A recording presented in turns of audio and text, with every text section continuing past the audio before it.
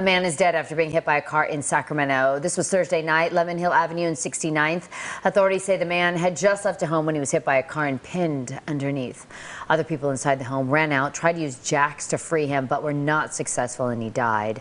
The driver of the car remained at the scene and is cooperating.